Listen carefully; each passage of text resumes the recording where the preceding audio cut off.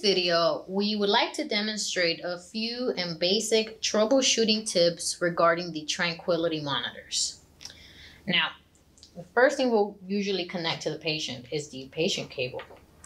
And it's very important that when preparing the patient that the electrodes are properly placed, okay? And if any shaving needs to be done on the patient, please make sure or that the uh, you know that the proper areas are shaved. Um, if you do notice some type of interference with your ECG waveforms, go back to your leads, and ensure that the electrodes are properly uh, adhered to the patient body, um, and that the um, that there's no nothing that could possibly be interfering uh, with the ECG signal. Now, uh, aside from the ECG, we also have the NIBP. So with the NIBP, some of the common problems that we encounter or customers encounter is that the measurements are wrong um, when it comes to a particular patient. And um, it's very important, guys, that when taking an NIBP measurement, that uh, the proper patient is selected.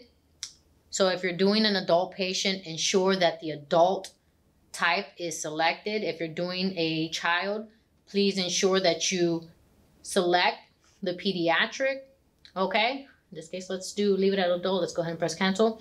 Um, and uh, as well as changing that, you also have to ensure that you are using the correct size cuff. This is an adult cuff. For a child or for a neonate, they are smaller cuffs. And if you use the, the incorrect cuff, you will have invalid NIBP measurement. So please be sure to use the uh, correct size cuff and also to select the correct patient type on the monitor. Uh, the following thing has to do with the SpO2 sensor. All right, now when it comes to taking or um, or putting on your uh, your SpO2 sensor, well, it would be great to not have any nail polish on the patient's nails. That can definitely interfere with the SpO2 values.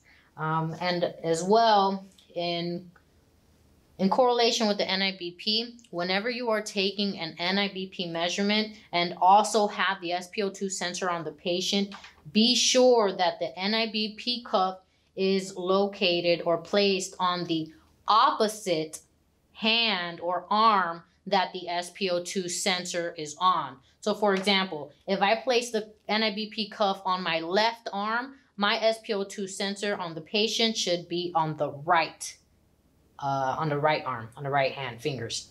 Okay? Uh, if you have them both on the same arm, just do know that your SpO2, SpO2 values or even your NIBP measurements can, um, can be invalid. The last thing that I want to uh, go over is the temperature accessory here. Okay, a lot of times um, the sensor itself is actually placed, um, let's say, for example, maybe just on top of the arm um, or uh, just in areas where the temperature value is actually not correct. So in order to get the best temperature reading, the best location for that it is actually underneath the underarm or toward the back.